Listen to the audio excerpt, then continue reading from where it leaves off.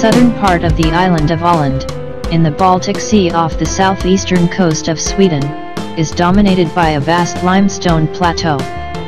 People have lived there for some 5,000 years, adapting their way of life to the physical constraints of the island.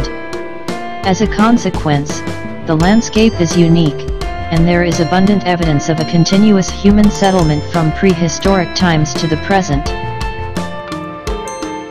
Southern Öland is a living agrarian landscape, where villages, arable lands, coastal lands, and Alvar plains make up this World Heritage property.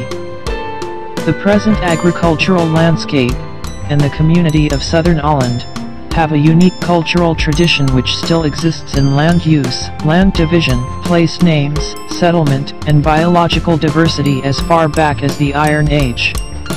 The Öland farmers, in their various everyday lives, are a necessary part of the history and future of this landscape.